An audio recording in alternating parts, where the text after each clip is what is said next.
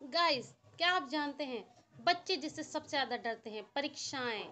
तो क्योंकि परीक्षाएँ आएँगी तो पढ़ना पड़ेगा। तो आप जानते हैं, परीक्षा की खोज किसने की? जी हाँ जो, तस्वीरों में आपको दिखाई दे रहे हैं हेनरी फिशेल यही हैं वो आविष्कारक जिन्होंने परीक्षा की खोज की।